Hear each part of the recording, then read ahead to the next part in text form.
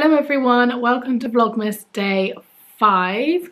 I hope you are all well. I'm doing a really nice, easy, light-hearted one today, just a Christmas tag. So I got the tag from So Helena and Martyn's channel. I'll link their channel below if you want to have a little nose. You probably know who they are already. If you enjoy like days out in the UK, Disney, general day in the life videos. Um, to be honest, if you just enjoy watching lovely people, then they are your people to watch. The channel is very addictive and they have loads of tag videos and I'm lazy and I just get, get my tags from their channel. So the first question is, what is your favourite holiday movie? So I've already answered this if you watched Vlogmas Day three I think it was um, of all the like my favourite Christmas films and my answer is The Holiday. It just can't be beaten in my opinion. It's my absolute favourite. I could go on all day talking about how much I love it. It's the best film ever. Question two is what is your favourite Christmas colour? I didn't really have to think about this. The answer is red. Um, it's the first colour that comes to mind when, when I think about Christmas, Santa Claus and everything. I mean, I'd love to wear like big red oversized jumpers, red scrunches in my hair, red lipstick. Like, yeah, it's just a jolly colour, isn't it? It's got to be red. Number three is do you like to stay in your PJs all day or dress up for Christmas? Hmm, a bit hard for me. My answer is a bit of both. Um, I love wearing loungewear and pyjamas um, and everything. And as long as my hair and makeup's done and I'm wearing loungewear, I actually feel quite done up and I feel fine in that. Um, but on Christmas Day, I suppose I would feel like a bit of a slob if everyone else was dressed up and I was in loungewear. So I would have to say dressed up on Christmas Day. I do usually dress up. There hasn't really been a Christmas Day where I've stayed in my loungewear all day. For me, the whole Christmas PJ thing is more like for Christmas Eve. Like we have our Christmas Eve photo always taken and we have like matching Christmas Eve family pyjamas. Um, so yeah, for me that's more of a Christmas Eve thing to, to, to be in the Christmas pyjamas. Number four is if you could only buy one person a present this year, who would it be? I think that's quite tough. I've got two children. I can't choose between them. To be honest, they don't need presents. Like I'm stressing to everybody not to buy them any presents this year. My young uh, eldest, sorry, only had his birthday two months ago and our living room is overrun with presents as is their room. And then my um, other little boy has his birthday around eight weeks after Christmas. So yeah, they don't necessarily need any Christmas presents. I mean, they're three and one. The eldest one is only starting to understand Christmas. He wouldn't be too upset, would he? I don't know. Um, I suppose I'm going to have to say my husband because he always works really hard for us and he's been working really hard for us this year. Um, and he just gets on with it. Question number five is do you open your presents on Christmas Eve or Christmas morning? Who opens their presents on Christmas Eve? I'm sorry, I open my presents on Christmas Day. I know some people have a sneak peek on Christmas Eve. I'm pretty sure my brother used to open his presents at midnight.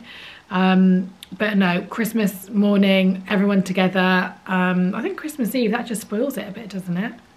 I don't know, always Christmas morning for me. Number six is, have you ever built a gingerbread house? Yes, I think for the past couple of years, we've done gingerbread houses with our eldest son, I think last year we built a gingerbread house and we all sat around the table and did it. And I think the year before we did as well, but it would have obviously only been me and Dan because Luca wouldn't have really been able to do much. But I'm sure he was there watching and like, yeah, I think, yeah, we do. And we're planning to do one this year as well. Number seven is what do you like to do on your Christmas break? Um, I'm guessing it's like Christmas traditions and then the run up to Christmas and everything. If you watched my Vlogmas day one, you will see some things on there because I just talked about the stuff, um, the kind of things that we do. So we like to go to a couple of Christmas um, markets.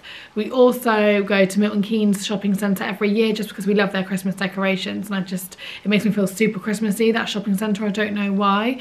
Um, I don't think I've ever been to Westfield at Christmas, that's something I'd like to do as well. I'm guessing that looks lovely at Christmas. We also do the Blenheim Christmas Light Trail and Winter Wonderland and we go and see Santa as well at a farm shop. So there's a few things that we do. Number eight is any Christmas wishes. Now I'm going to be super, super corny here and I'm sorry, I apologise in advance, but my only wish always.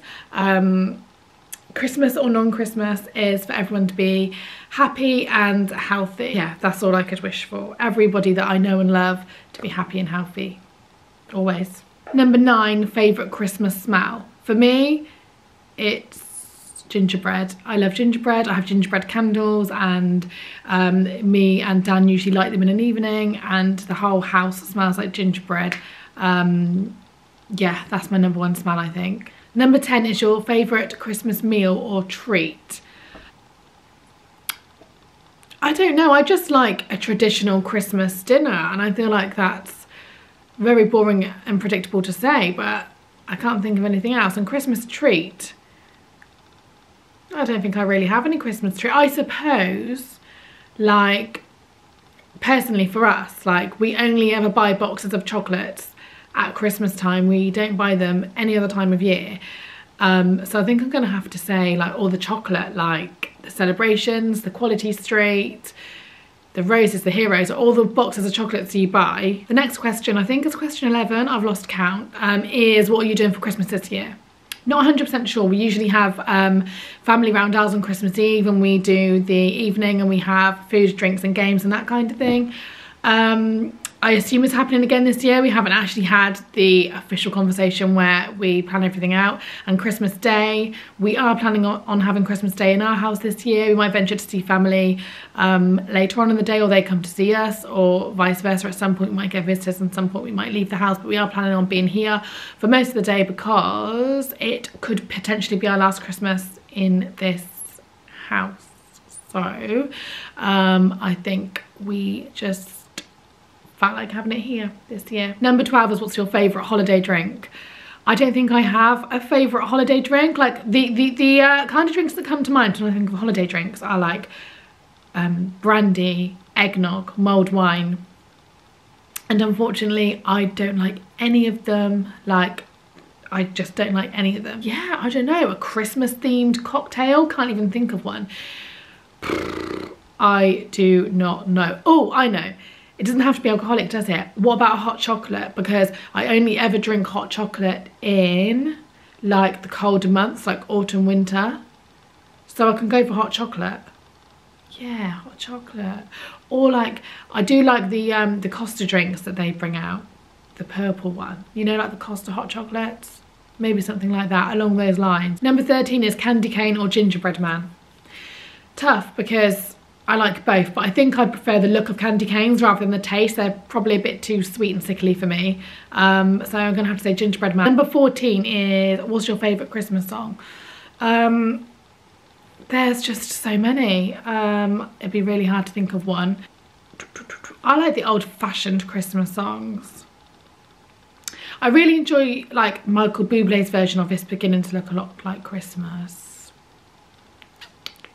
I really like Rocking Around the Christmas Tree as well. Is that Brenda? I might have to look that up. Brenda Lee. Yeah, so Rocking Around the Christmas Tree. I don't know, I just love that. It reminds me of, I don't know what it reminds me of. It just reminds me of Christmas and everyone dancing around a Christmas tree on Christmas Day. I just love it. I'd say they're, if I had to choose, I'd say they're my top two. I can't choose between them really. Number 16 is what's the weirdest gift you've ever received? At work once, I did get for Secret Santa I think it was Secret Santa, um, like I got like a few things in a bag and one of the things was a um, Bombay Bad Boy, which is the black pot noodle, which is weird maybe to everybody else, but it wasn't weird to me because it's one of my favourite things to eat. So that person knew me well, but to everyone else, we were like, oh, we got pot noodle for Christmas. It's one of the best things that you can get me. Have you ever made a snowman?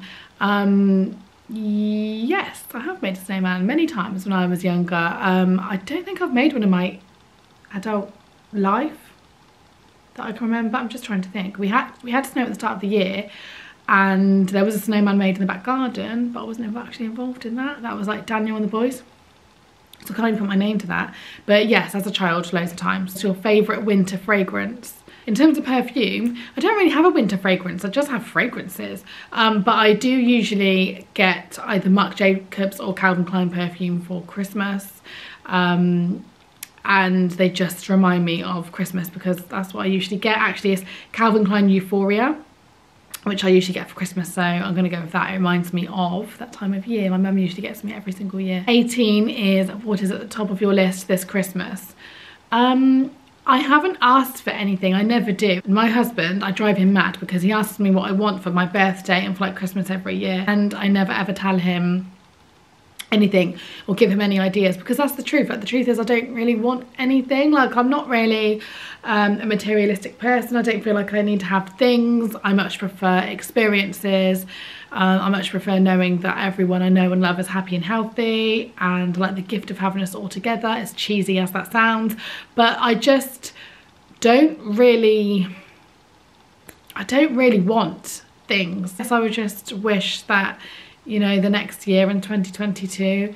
Everybody I know continues to grow, continues to be healthy, everybody's happy. Number 19 is what is most important to you about the holidays. Um, I've touched on this a few times in this video already, 100% being with family and friends.